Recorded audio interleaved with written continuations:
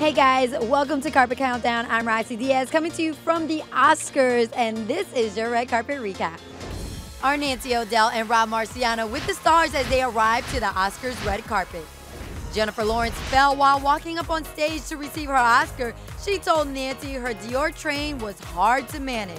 He was so kind to take out the evening to hold my train. I can't even tell you how George Clooney passed because of Argo stuff. What did that feel like having uh, Dustin Hoffman hold your train? Well, it's not George, but you know. Jessica Chastain put to rest rumors that she and Jennifer were feuding. The funny thing is, we were at a party the other night, and she came up to me and she goes, I heard there's a so called rivalry. Like, we were laughing about it. Fellow Best Actress nominee Quvenzhané Wallis just cast as Annie in a new adaptation of the classic musical. The sun will come out tomorrow, so you gotta hang on till tomorrow. There'll be sun. Yeah, she got the job, no doubt about it. Bradley Cooper escorted his mother down the red carpet, but what a night it was for couples.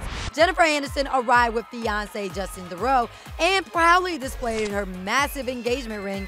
George and Stacy always seem to set off the flashes. I noticed that Stacy, being the, the sweet date that she is tonight, was actually cleaning off your uh, jacket there. Yes, because she was wearing makeup and she got it on my jacket. Parents to be Channing Tatum and his wife Jenna.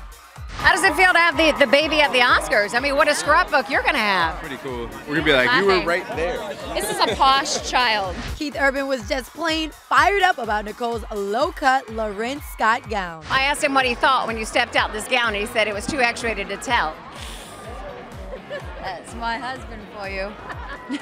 It's just a regular full-blooded Aussie male. Now, here we are, three fashion standouts on this year's Oscar red carpet. Number three, Helen Hunt wore off the rack.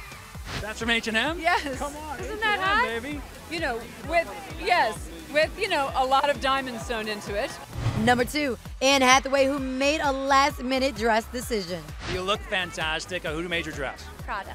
I didn't know what I was going to wear. I was deciding between two dresses. And number one, Jen Lawrence stunned in Dior, but it wasn't easy. How did you fit in the car in this dress? We uh, took the front seats out and I sat in the back. It was an ordeal.